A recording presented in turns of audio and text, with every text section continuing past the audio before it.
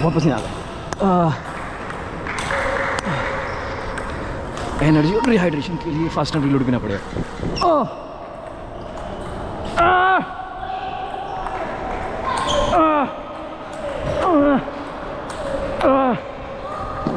Come on! Sorry.